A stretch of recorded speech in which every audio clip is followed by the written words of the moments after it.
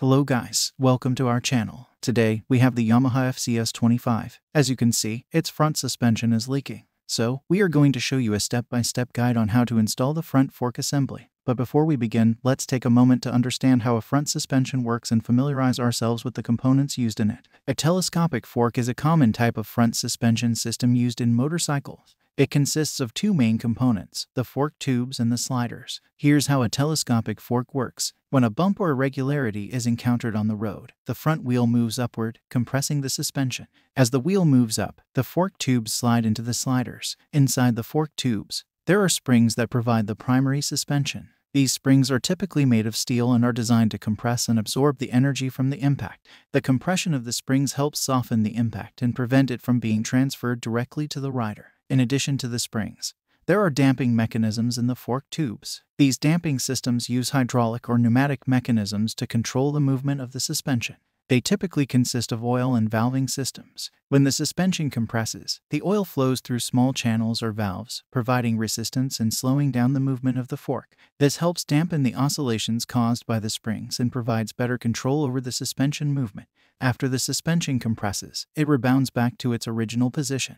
The damping system also helps control the speed at which the suspension rebounds, preventing it from bouncing back too quickly. This helps maintain stability and control over the motorcycle. The telescopic design allows the fork tubes to slide into the sliders, which helps in absorbing the impact and maintaining the structural integrity of the front end. It also allows the suspension to provide both suspension and steering functions. As the front wheel moves up and down, the entire fork assembly pivots around the steering head, enabling the motorcycle to turn and maneuver. To assemble the suspension, you will need a T-handle. First, take the cylinder and insert the small spring. Next, take the inner tube and insert it inside the T-handle, followed by the spindle taper on top of the cylinder.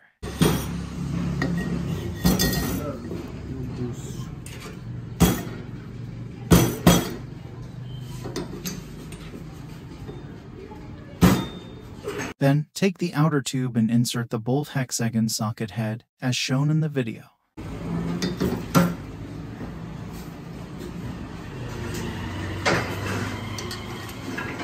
Use an Allen key to tighten the outer base tube. You may need a T-spinner and a helper to complete this process, so make sure you have someone to support you.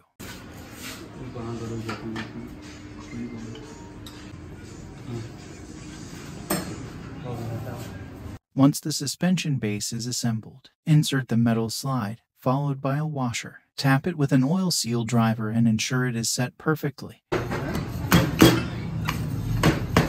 Install a new oil seal by tapping it with the oil seal driver, taking care not to damage the newly installed oil seal. To prevent any damage, place an old oil seal on top of the new one so that the oil seal driver does not come into direct contact with the new seal.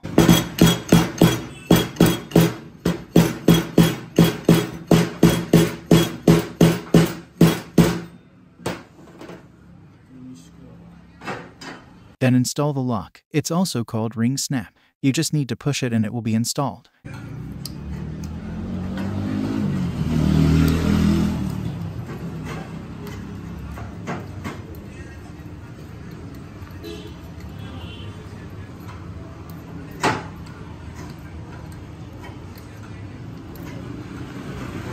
Cover it with a seal dust. Now, we are close to completing the installation process of the front fork assembly.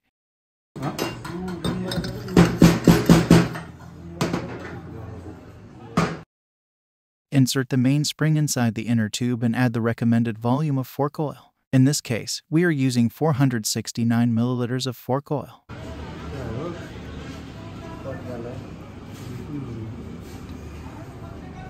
Pump it to ensure all the oil goes to the bottom.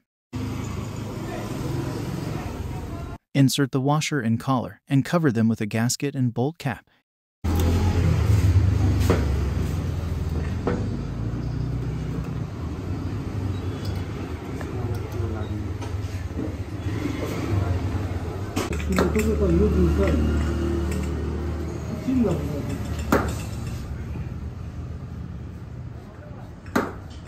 After completing the entire process, check the suspension's flexibility simply by pressing it. Now your suspension is ready, and you can install it under the bracket. Thank you for watching and being a part of our YouTube channel. We hope you enjoyed the content and found it informative. Don't forget to hit that subscribe button and turn on notifications so you never miss an update from us. We appreciate your support and look forward to bringing you more exciting videos in the future. Stay tuned and keep exploring.